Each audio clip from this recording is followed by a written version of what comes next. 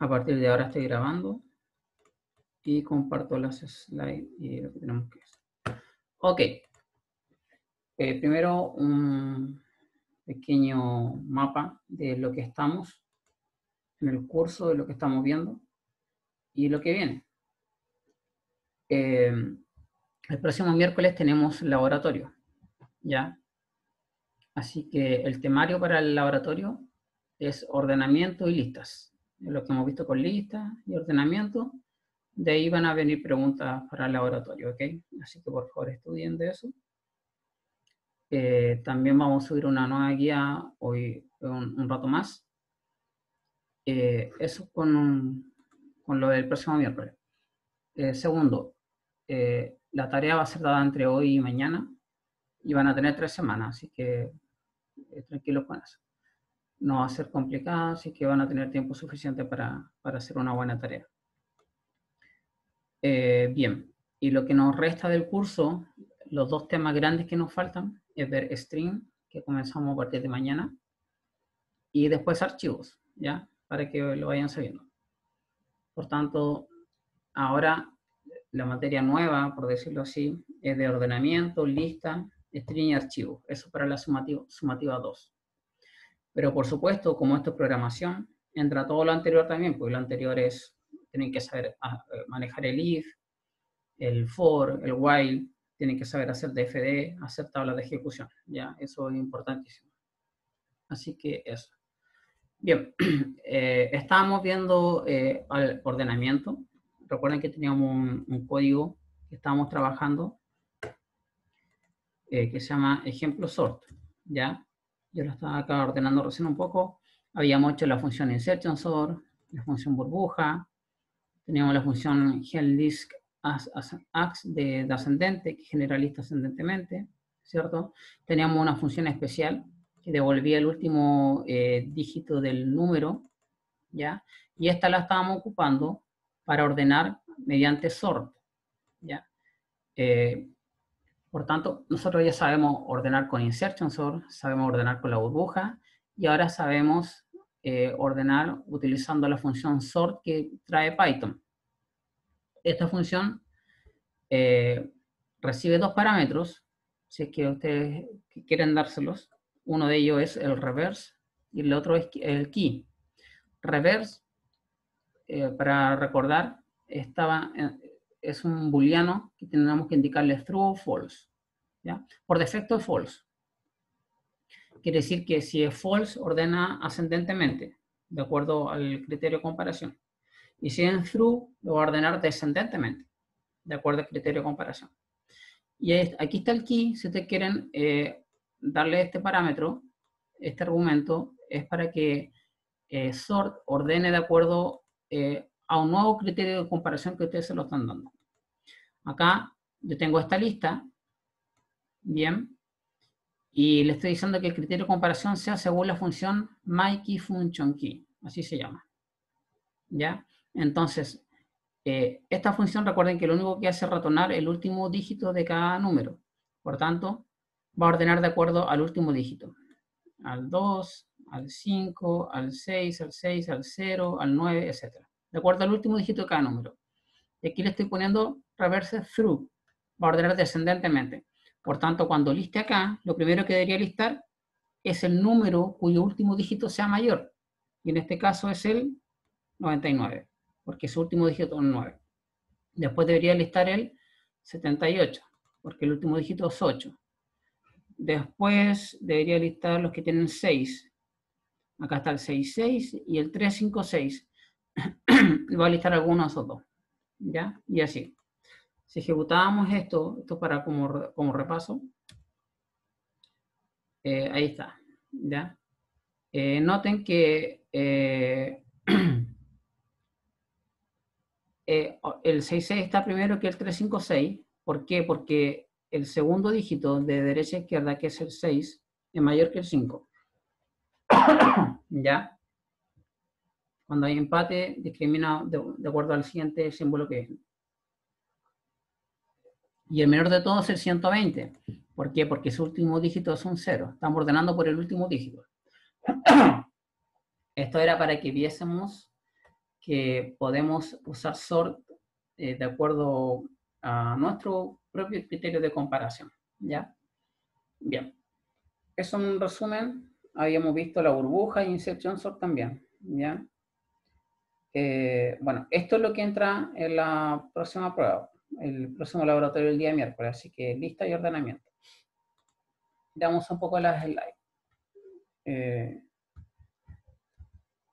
bueno, esto ya lo vimos, que es... Mira, aquí hay un ejercicio. Tratemos de hacer este ejercicio en la clase, ¿ya? Eh, porque la materia de lista y ordenamiento ya, ya está lista, ya, ya la vimos. Dice, implemente un programa en Python que acepte el ingreso de números mientras sean distintos de cero. Con cero termina el ingreso. Eso lo sabemos hacer con un while, ¿cierto? Dice, y los almacene en una primera lista. ¿Ya? se los almacene en una primera lista. Luego debe repetir el proceso para llenar una segunda lista. Es decir, hay que hacer esto dos veces para rellenar dos listas con números que va ingresando el usuario mientras sean distintos de cero. ¿Ya? Esa es la primera parte, el ingreso. Noten que generalmente los problemas se dividen así. Una parte, ingreso de datos, validación, etcétera. Todo lo que se hace siempre al inicio Después viene la parte algorítmica y la última parte que es entregar los resultados, ¿ya? Así que aquí dice la segunda parte. Dice, el algoritmo debe mostrar en pantalla cuántas veces se repite cada elemento de la primera lista en la segunda. Por tanto, vamos a tener que hacer una búsqueda. Buscar los elementos de la primera lista, eh, cada elemento de la primera lista, buscarlo si está en la segunda. ¿Ya? Y cuántas veces se repite. El, programa, el programa debe además consultar al usuario si desea continuar, es decir, repetir este mismo ejercicio, ¿ya? Eh, bueno, en caso de que responde N, de que no, el programa se detiene y se despide. Cualquier otra respuesta significa que continúa. Dice, ordena los elementos de una lista de menor a mayor. Crea una lista con los divisores de número ingresado. esos son otros ejercicios, ¿ya? entonces, vamos a hacer eh, el primero, que son estos dos primeros párrafos, dividido en dos partes. La primera parte, el ingreso. ¿Ya? Así que hagamos esto, recordemos, vamos a implementar en Python, que acepten el ingreso de número mientras sean distintos de cero, con el cero termina, lo guardan en la lista. Y hacemos lo mismo para la segunda lista. ¿Ya? Tratemos de hacer eso. ¿ya? Eh, vamos a crear un, código. A ver, acá lo vamos a dejar aquí en, aquí en Python. Vamos a ponerle eh, voy, a, llamarle lista 2. Ok. Y lo abrimos con Python. ok. Vamos a trabajar en aquí. Entonces, lo primero que tenemos que hacer, ¿cierto? Es, vamos a comentar aquí, uno, eh, ingresar entero, vamos a trabajar con entero. Eh, en la lista A, ¿cierto? Mientras sean distintos de cero. ¿Ya? Eso es lo que vamos a hacer primero. Entonces vamos a tener una lista A, ¿cierto? Eh, vacía. Y vamos a hacer y vamos a ir ingresando números. Vamos a poner acá eh, X, por ejemplo, para el número. Vamos a ponerle 1 mientras tanto. Mientras X sea distinto de 0, vamos a iterar. ¿Ya? Eh, vamos a hacerlo bien mejor. un momentito. El primer mensaje del usuario. Print. Ingrese enteros de la lista A. Cero para terminar. ¿Ya? Eso. Entonces, acá vamos a leer el primer X. X es igual a int input, eh, así nomás, sin mensaje, ¿ya? Si x distinto de 0, perdón, ¿cierto? Lo vamos a imprimir, lo vamos a agregar a.append, vamos a agregar x al final de la lista. Y volvemos a leer, ¿ya? Esa es la primera lista. Ya esto ya lo sabemos hacer. El, recuerden que el while entra mientras la condición sea verdadera. Si, al inicio el usuario ingresa un 0, A va a quedar vacío. No va a entrar al while. Y eso está bien, pues eso es lo que está pidiendo acá. Que ingrese solo los números que sean distintos de 0 y el primer 0 que termine el ingreso. Bien. Eh, lo mismo vamos a hacer con una lista B la lista B. Y solamente un copy-paste de lo que está ahí. Bien. Vamos a ejecutar esto primero para ver que se está ejecutando bien. ¿ya? Eh, así es como ustedes debiesen trabajar cuando trabajan en una prueba, por ejemplo. Por partes, ir probando. ¿Ya? F5.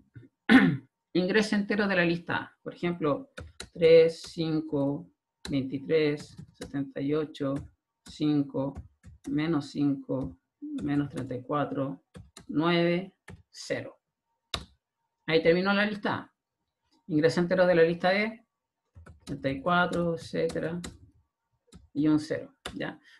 Solamente lo estamos ingresando. Eh, nos, nos, faltó acá imprimir para ver que, se está ingresando bien. Entonces vamos a poner acá eh, print A igual. Y vamos a poner ahí A. ¿Ya? Así mientras tanto. Lo mismo acá con B. Con B. Vamos a imprimir ambas listas. y acá dice también, el, problema dice que, a ver, aquí. Eh, la parte final dice, eh, antes de hacer el problema algorítmico, dice, el programa debe además consultar al usuario si desea continuar, repetir el proceso si, escribe una n mayúscula, entonces se detiene y se despide. Cualquier otra respuesta lo tiene que volver a repetir. ¿Ya? Entonces, vamos a hacer esa parte al tiro. Le voy a poner aquí respuesta. Igual, mientras tanto, una S, de sí, por ejemplo. Y vamos a iterar acá mientras la respuesta sea distinto de n mayúscula. ¿Ya? Si es distinto de n mayúscula, tiene que hacer esto que está acá. Acá dice.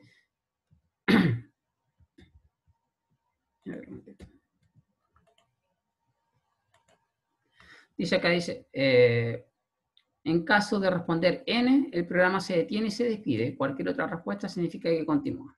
¿Ya? Entonces todo esto de aquí hay que dentarlo nuevamente, hay que correrlo a la derecha, ¿cierto? y hacerlo. Y acá al final hay que preguntarle al usuario. Eh, respuesta es igual a input, ¿cierto? Desea repetir el ejercicio. Eh, si no, dos puntos. ¿Ya? Y ahí vamos a leer entonces la respuesta al usuario. ¿Ya? Y vamos a hacer lo siguiente. Eh, saliendo del while, quiere decir que, por ejemplo, si ingresa una n, va a preguntar arriba, ah, va a decir una n sale del while, hay que despedirse. Entonces, vamos a poner acá, eh, perdón, eh, print.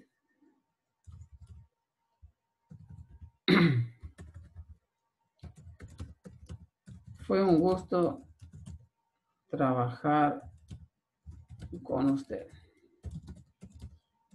Que tenga un eh,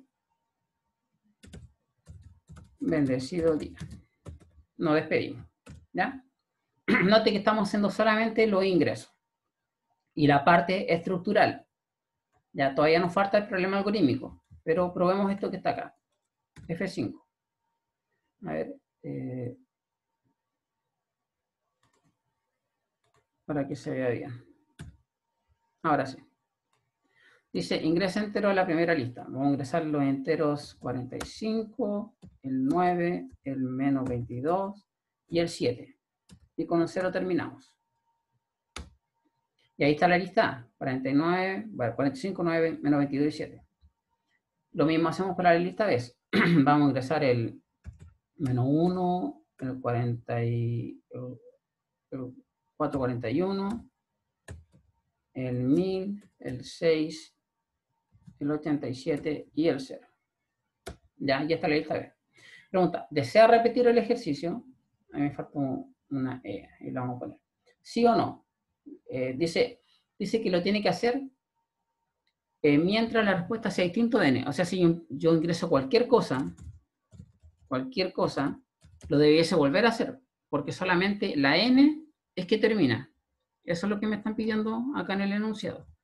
Dice, en caso de responder n, el programa se detiene y se despide. Cualquier otra respuesta significa que debe continuar. ¿Ya? Entonces, si yo aprieto esto, tiene que repetir el ejercicio.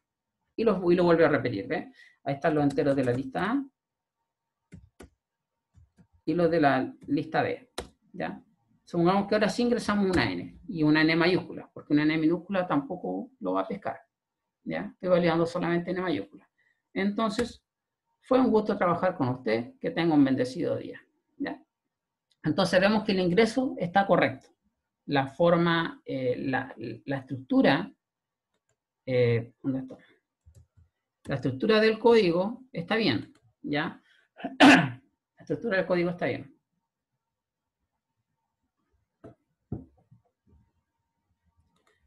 Ya. Vamos a borrar que está ahí porque el enunciado ya lo tenemos aparte, ¿ya? Bien, entonces ahora nos falta hacer el problema algorítmico. Bien, ¿qué dice? Vamos a la función nuevamente, al enunciado. Dice, el algoritmo debe mostrar en pantalla cuántas veces se repite cada elemento de la primera lista en la segunda. ¿Ya? ¿Cuántas veces se repite los elementos de la primera lista en la segunda? Por ejemplo, hagamos un ejemplo aquí. ¿Ya? Vamos a hacer un ejemplo. Supongamos que A tiene eh, el 2, el 5 y el 9, ¿ya? Y B tiene el 5, el 3, el 7, el 5 de nuevo, el 2 y el 8, ¿ya? Entonces, ¿qué debes imprimir? Debes imprimir que el 2 está una vez, ¿cierto? El 2 de la lista A está una vez, ¿ya? Eh, debe ser responder también que el 5, el 5, vamos a así. El 5 está dos veces en la lista B dos veces en B, una vez en B. Voy a poner así mejor. A.2. No, no, no. Se ve muy raro. El 2 de A. El 5 de A. Así. Está. Está con acento, no, creo que sí. Está dos veces ¿ya? Vamos a responder esto. Porque el 9 no se encuentra, ¿cierto? Solamente los que tiene. ¿Cómo hacemos esto que está aquí? ¿Ya? Vamos a crear una función. Eh, vamos a hacer el ordenado. def eh, encuentra encuentra lista, le vamos a llamar va a recibir las dos listas, A y B, y tiene que ir imprimiendo. ¿Ya? Entonces, ¿de qué manera podemos hacer esto? Aquí hay que pensar ahora, esta es la parte algorítmica, ¿ya? Esta es la parte que debiese tomar un poco más eh, de tiempo, por supuesto, siempre. Pero esta primera parte, esta no, no debiese tomar mucho tiempo. Ustedes debiesen ser capaces de hacer esto rápido. ¿ya? Esta primera parte que es el ingreso de datos y darle la estructura al código, ¿ya? Entonces, acá, esto tiene que hacer algo, ¿cierto? Eh, y acá, al final, tenemos que llamar a nuestra función. A, B. Le pasamos A y B, ¿cierto? Eso es lo que tenemos que hacer. Vamos a ahorrar espacio para que se vea todo ahí. Bien. Encuentra en lista. Ya. Una forma de hacerlo, vamos a hacer la forma eh, más sencilla posible, es recorrer la lista A, todos los elementos de la lista A, y uno a uno hacer un nuevo recorrido en B e ir contando cuántas veces aparece. ¿ya? Vamos a hacer eso que está ahí. Entonces aquí eh, vamos a recorrer la lista A. Eh, recuerden que el ciclo for me sirve para recorrer listas. ¿Ya? Por tanto, puede ser muy útil. Necesitamos también un contador. ¿ya? Pero primero pongamos el for A in A, dos puntos. Eso me recorre cada elemento de la lista A. ¿Cierto? Aquí necesito un contador. Vamos a poner, por ejemplo, eh, cont igual 0, porque necesito ir contando cuántas veces está este elemento en todo B, ¿cierto? Entonces, si tengo el contador en 0, lo vamos a usar. Y acá dentro necesito, por cada elemento de A, ¿cierto? Por cada A minúscula en A, estas son las A minúsculas, yo necesito recorrer todo B. Entonces, el segundo for tiene que ir dentro de este for no puede ser paralelo, tiene que ser dentro del for. Acá, for de in B. Recorro todos los elementos de B. Y, y voy preguntando. Si A es igual a B, quiere decir que, bueno, no es necesario eso. Si es igual a B, si es igual a B, entonces encontré una ocurrencia, ¿cierto? ¿Y qué es lo que tengo que hacer? Es cont es igual a cont más 1 encontré una ocurrencia. ¿Ya? Entonces, este elemento yo lo estoy buscando en toda la lista y estoy contando cuántas veces está.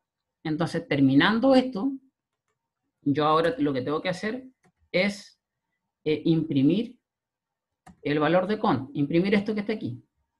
Entonces tengo que imprimir print. Ah, imprimir solamente si el con es mayor que cero, porque si con es cero, yo no quiero imprimir nada. Por tanto, tengo que validar acá. If eh, cont mayor que cero, es decir, si, si hay elementos, si se encontraron ocurrencias de A, ¿cierto? En, en, la lista B, entonces vamos a imprimir. Print. vamos a poner acá eh, A hace ese elemento, ¿cierto? Eh, de A, vamos a poner, se encontró mejor, se encontró, y aquí vamos a poner eh, cont, ¿cierto? Veces, B, veces, veces en B. ¿Ya? Se encontró veces en B. Así mejor, ¿ya?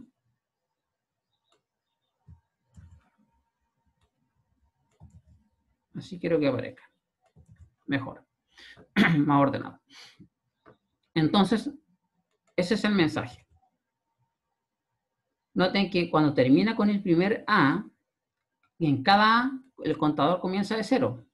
Este contador, un error típico, es que lo ponen acá afuera. Si que yo quiero contar en, cada elemento de A, eso estaría malo. ¿Por qué? Porque va, mm, el contador se va a incrementar para todos los números, nunca va a partir de cero en, cada elemento de A. Solamente la primera vez. Esto tiene que estar dentro del for. ¿Ya? En, en, ejercicio así parecido, eh, ponen el con fuera y el contador no es global, el contador es por cada elemento. Yo estoy contando por cada elemento de esta lista. Por tanto, el contador tiene que estar aquí adentro. ¿Ya? Entonces, creo, creo que con eso estaría listo. ¿Ya? Vamos a ejecutar. Vamos a ir viendo. F5.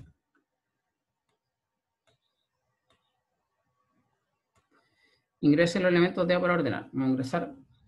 eh, vamos a hacer algo bien sencillo. 1, 2 y 3. Solamente eso. ¿Ya?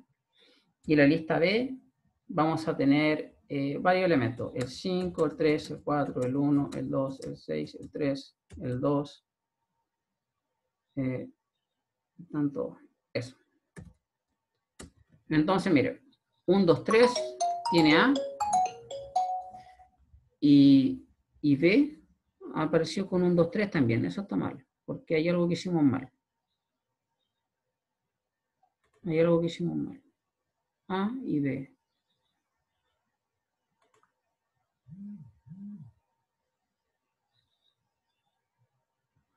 Hay algo que hicimos mal. A ver, ¿por qué? Profe, ¿Sí? está imprimiendo el, el A dos veces ¿Y por qué? Eso no, no entiendo. en el print B. Ah, aquí. En el print B, profe. Toda la razón, pues chicos. Eh, qué bueno, qué bueno que estamos todos atentos y trabajando juntos. Aquí imprimí eso. ¿Ya? Eh, no. Vamos a limpiar la pantalla mejor. Ahí sí. Ahí estamos imprimiendo A y estamos imprimiendo B. ¿Ya? Vamos a hacer. Control S, F5. Eh, 1, 2 y 3. Solamente eso va a tener A. ¿Ya? Y B, el, el 2 no lo vamos a ingresar. Vamos a ingresar 1 y 3. ¿Ya? 4, 6, 1, 6, 1, 7, 8, 9, 3, 5, 3, 7, 3 y 3. ¿Ya? El 2 no está, pero el 1 y el 3 sí está varias veces. Entonces, 0. Eh, dice, y aquí, encontró el 1 y el 3. ¿ven? Y el 1 lo encontró dos veces y el 3 lo encontró cuatro veces. El 1 está dos veces y el 3 está eh, una, dos, tres. Me falta una. Ahí está la 4. Ahí está la 4. 1, 2, 3 y 4. ¿Ya? Bien. ¿Y deseo repetir? No, no deseo repetir. ¿Ya? Fue un gusto trabajar con usted. Que tenga un buen día. ¿Ya? Entonces, esta es una forma de hacer este ejercicio. Y este perfectamente puede ser un ejercicio de laboratorio. ¿Ya? Así que eh, este ejercicio típico, o sea, eh, perdón, tipo, ejercicio tipo de trabajar con listas, trabajar con eh, ordenamiento inclusive. Ahora lo podríamos haber hecho de otra forma, inclusive más inteligente. Nos vamos a poner más creativos ahora. Eh, supongan ustedes que la lista A y la lista B yo las ordeno. ¿Ya? Entonces, si las listas están ordenadas, eh, la- el, el contabilizar los elementos debe ser más eficiente, porque tengo que aprovechar ese orden, ¿cierto? Y a ver, vamos a tratar de hacerlo al- algo así parecido. Primero, eh, dudas con esto que está aquí, chicos. Repetir. ¿Alguna duda con lo que estamos haciendo? ¿Alguna sugerencia? ¿Ustedes lo harían de una forma distinta? Profe, ¿Sí? Por ejemplo, a mí se me repite dos veces eso de ingreso enteros en la lista A, cero para terminar. ¿Qué, qué puedo estar haciendo mal? Eso se me repite dos veces. Ya, eh, lo tiene eh, dentro del while, no lo tiene fuera del while, ¿cierto? No está dentro. Ya, es que esto, acá también está el mismo mensaje, pero es con B. Ujú, Si quiere, comparta pantalla. Sí. Mire, no, no sé qué es lo mejor que podrá estar mal. Ya, comparta pantalla, ¿ya? Para que lo veamos entre todos. ¿Puede compartir? Sí. Eh, ahí está el código. Ya, a ver, dice, respuesta igual sí. A, ingrese entero cero para terminar. Ah, ah el, el, mire. Ya, mire, esto que está, eh, tiene desde, desde A hasta que imprime A, está dentro de un while. ¿Cierto? ¿Esto? Si lo O tiene, sea, eso. sí. Pero déjenme ver un poquito. Tiene while separado. A ver. Mire, ¿por qué? Porque mire, el primer while que tiene dice while respuesta es distinto de n, ¿cierto? Ese while dentro tiene eh, el A igual corchete, después un print, después viene otro while y después al final otro print y termina. B igual corchete está fuera del while principal. Ah, entonces esto tiene que estar fuera del while igual. No, no, no. El B debe estar dentro del while. Y todo lo que está abajo debe estar dentro del while. Ah, ya. Hasta donde dice Ya. respuesta. Hasta donde dice respuesta. Ya, profe. Eso es una. Ya, pero veamos si hay otro problema. A ver. Eso debe ser para terminar. No creo que no debería haber problema. Mire, deje de compartir un poquito. Note que aquí tenemos esto dentro del while. Y lo que sigue a continuación también está dentro del while. Con la respuesta. Ah, sí.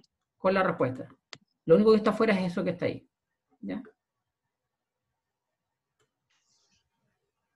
Eso es bien importante que lo tengan claro. A ver, alguien escribió algo en el chat, déjenme ver.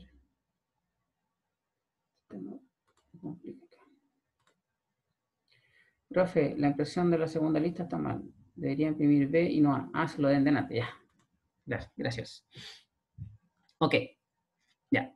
A ver, tratemos ahora de hacer este problema, eh, de repetir este problema, pero ordenando las listas y aprovechando ese orden para hacer la búsqueda más eficiente. ¿Ya? Este, ¿qué- ¿Tiene nombre este problema? No. Eh, a ver. Ejercicio 1. Llamémoslo así. A ver. Vamos aquí. Eh, vamos a repetir el ejercicio, ejercicio 1, pero ordenando las listas y aprovechando el orden, aprovechando el orden para buscar más eficientemente, ¿ya? Por ejemplo, supongo que tengo dos listas ordenadas. 259 está ordenada. Y acá tengo eh, esta misma. El 2 tiene que ir adelante. Vamos a poner el 2 adelante. 2, perdón, 2, coma. El 3 viene después. Acá va a estar el 3, coma. Ese 3 se elimina. Después viene el 5, después viene otro 5. Y después el 7 y después el 8. ¿Ya? Ahí está ordenada. 2, 3, 5, 5, 7 y 8. Entonces ahora mi búsqueda, noten que yo tomo un elemento aquí, mi búsqueda de este acá es más eficiente. ¿Por qué? Porque yo no tengo que recorrer toda la lista. Tengo que recorrer de, de izquierda a derecha, pero hasta que el número que yo estoy buscando, eh, eh, el primer número que me topo con B sea mayor que el, que el mío. Y ahí paro. Por ejemplo, aquí el 3 es mayor que el 2, entonces yo tengo que parar mi búsqueda aquí. No tengo por qué comparar todos los elementos que hay acá. Imagínense que mi lista tenga miles de millones de datos. Y eso es algo eh, muy común hoy en día.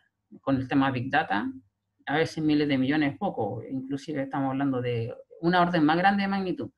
Entonces, eh, si en cada búsqueda yo tengo que recorrer toda la lista, eso no es muy eficiente. Pues. ¿Ya?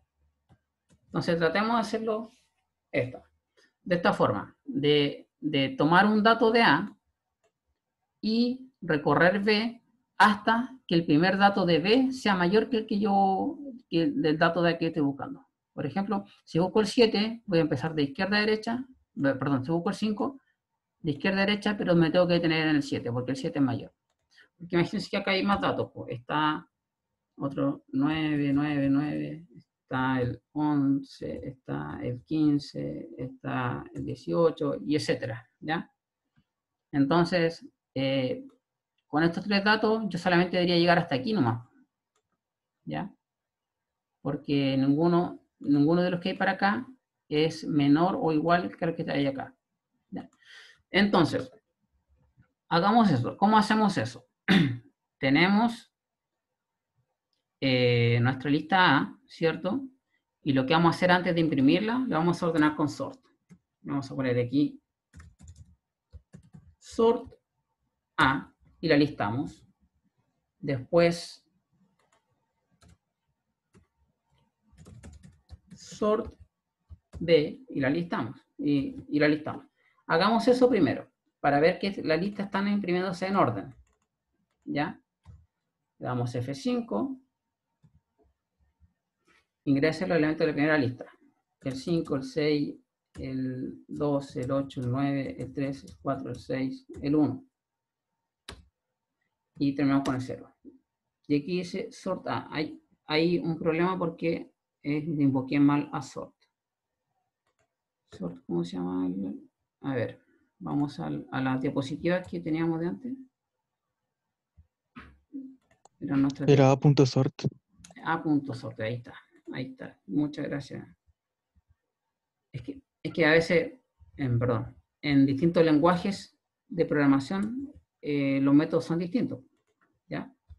Es, perdón. A.sort. Bien. Y acá también sería B.sort, ¿ya? Por ejemplo, en C++ eh, también está la función sort y se invoca así solamente. Sort y entre paréntesis se le da la lista. Pero bueno, acá es distinto. Y a veces uno eh, trabaja con mal lenguaje y empieza a confundir. Ok, a ver, demos que estamos ok.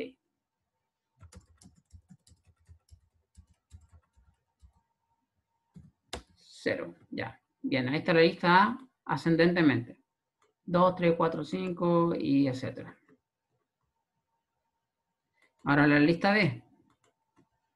6, 7, 3, 6, 3. Y le, le, escribo un espacio en blanco, por eso se cayó. No le escribí un 0. Pero bueno, sabemos que está funcionando sort. Ok.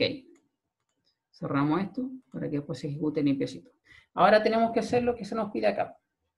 Esto mismo, pero ahora yo sé que eh, A y B están ordenados.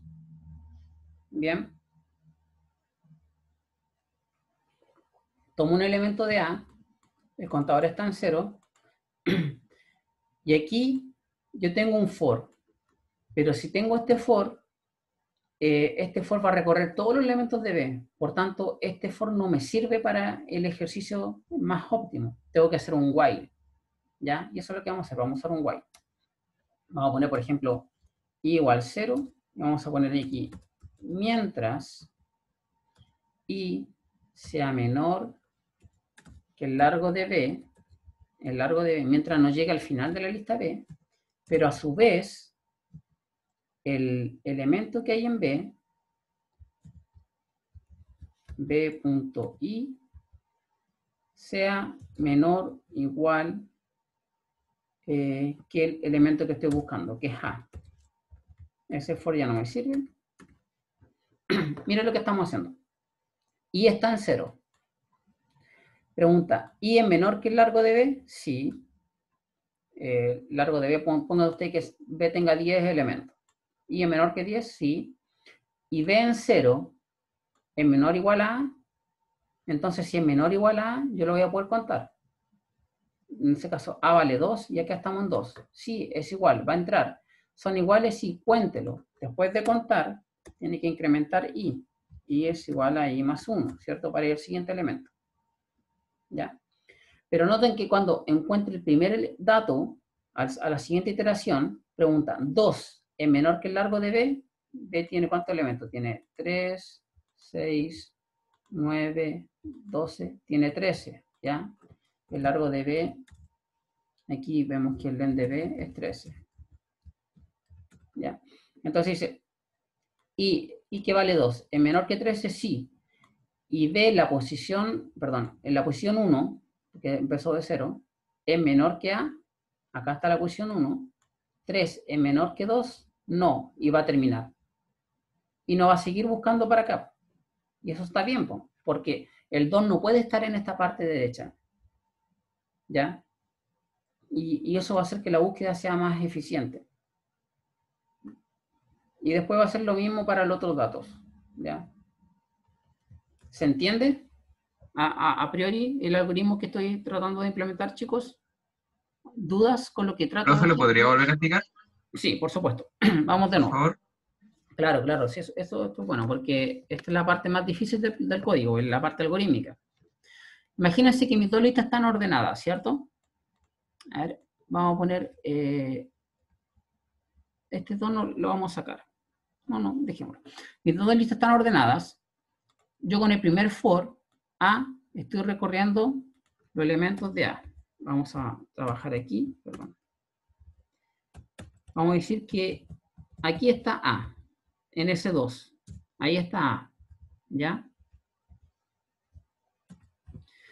Ahí está A, en ese 2. Bien, ahí, aquí, eh, aquí está mal el B. Ahí está mal el B. Aquí tiene que ser B en I. B ya no existe. Este el A es el valor 2, ¿cierto? Al, al inicio. En este for de aquí. Contador está en 0, es la cantidad de veces que este elemento está en B. ¿Ya? Y iteramos desde I igual 0. Entonces, I está en la posición 0. Ahí está I en la posición 0, que va a recorrer B.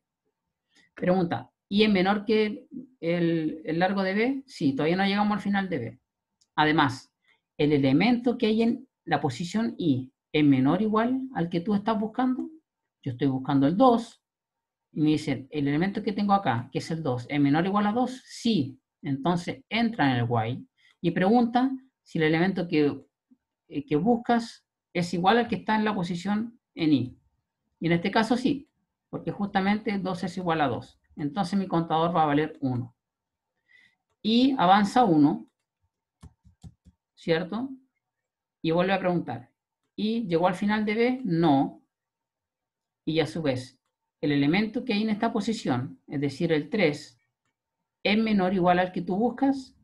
No. ¿Por qué? Porque yo busco es el 2, ¿cierto?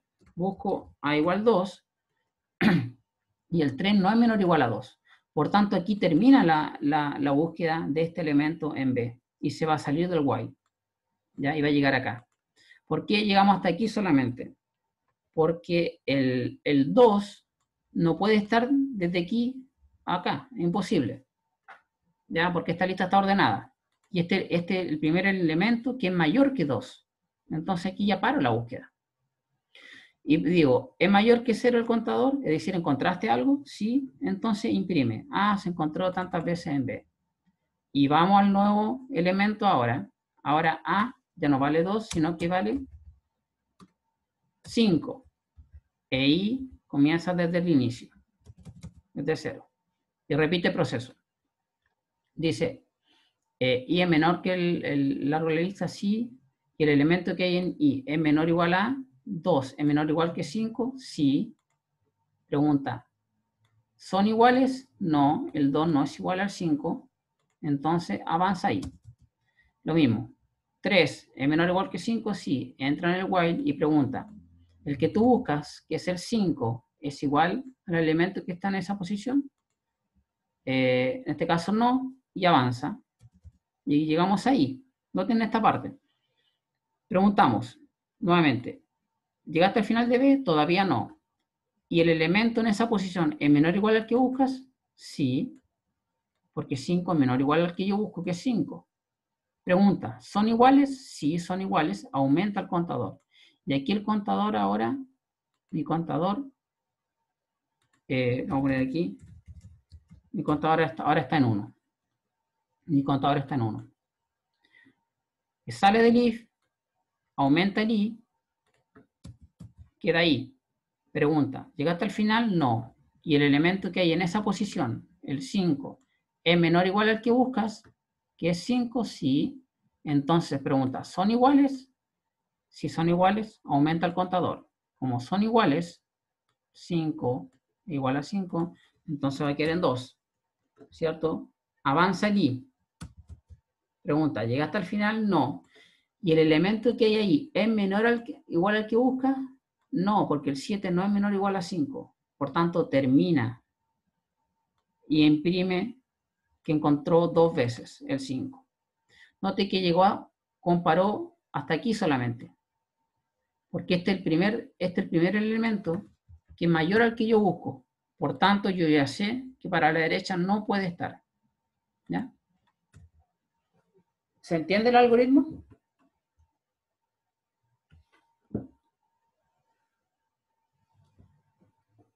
Chicos, ¿se entiende o no se entiende? Sí, profe. Bien. ¿El profe? Dígame. ¿Para qué sí se entiende? Ya, ejecutemos, mire. Una lista. Eh, vamos a buscar solamente pocos elementos. Vamos a buscar el- el 5 y el 7. Nada más que eso todo. ¿Ya? Y lo vamos a buscar en una lista más grande. Que va a tener... Ay, me equivoqué, perdón. F5. Ingresé un espacio. Vamos a buscar el, el 5 y el 7. Y vamos a ingresar estos datos acá.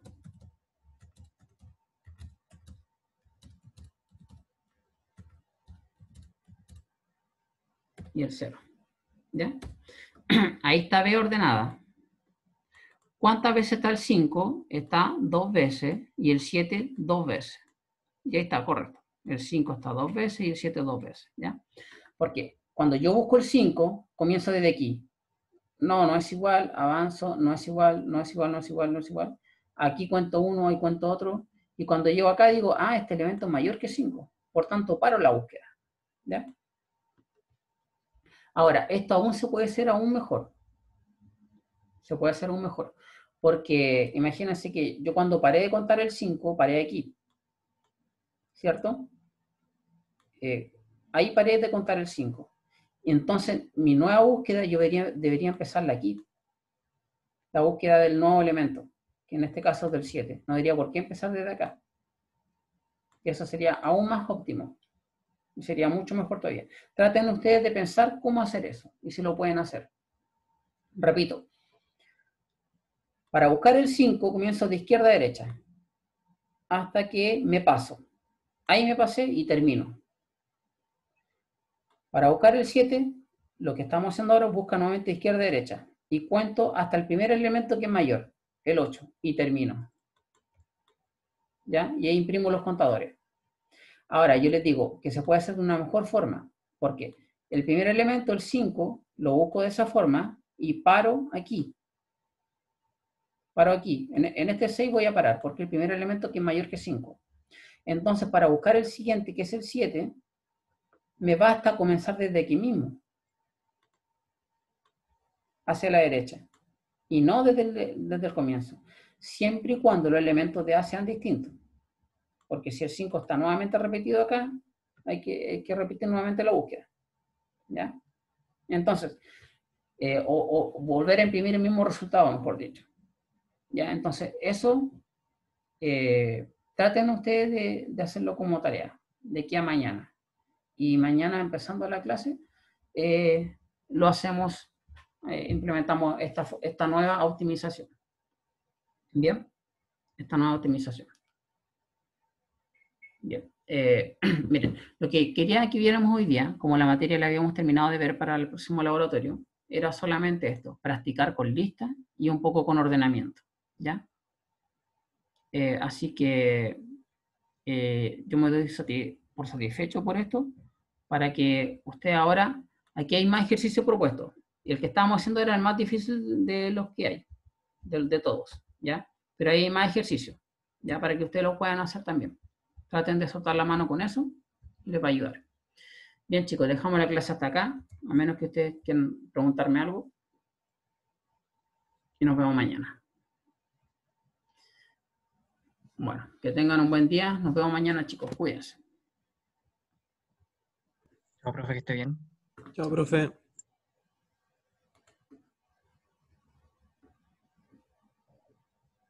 Profe.